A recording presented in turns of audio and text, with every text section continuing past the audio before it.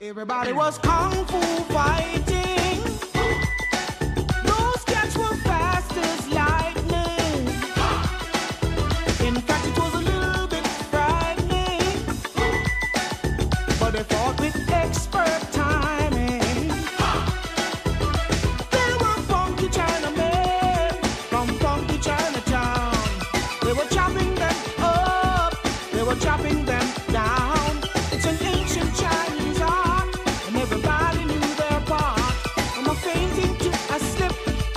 kicking from